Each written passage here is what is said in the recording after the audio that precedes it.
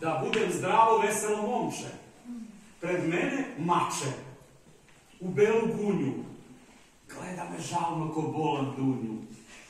Sluza mu sitna, iz oko sklizne, oči ono mrka da lisne.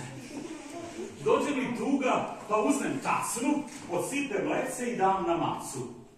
Od kako prase rep iskrivilo, ovako čudo još nije bilo.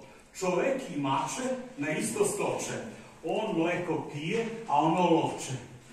Ali jedno jutro pazio nisam, najđe majka i viknu pisa.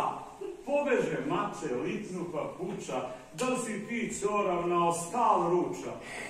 Sak svako jutro na moje mače doručak turim ispod ostalče. U selo je isto detinstvo svače, rasteš uz mlece i s neko mače. I vi imate maco, tako? Da, ne. I plus.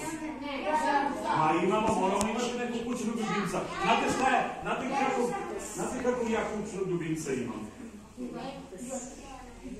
Majmuna trtu. A što? Pa i on može biti ljubimac, da? A vi više volite one ljubimce, ono, ono, petlove i one kokoške, da? E, kad sam kod petla, da vam ispričam još i ovo.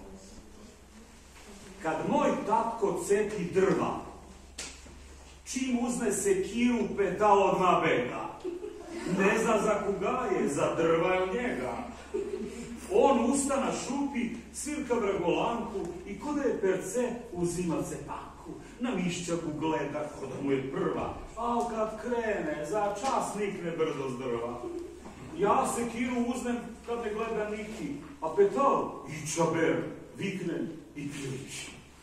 Dakle, takav sam ja a, a, nego, hajde da vas upoznam malo i sa svojim